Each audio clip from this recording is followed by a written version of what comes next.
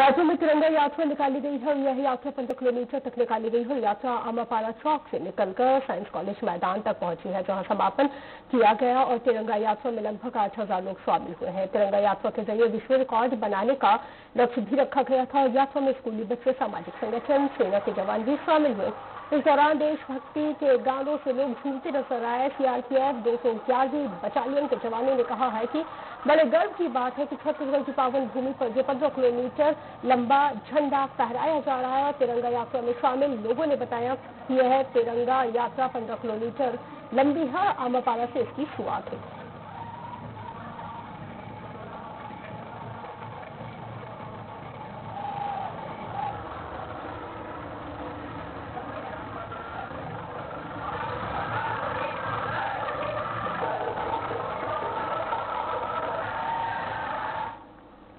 मुख्यमंत्री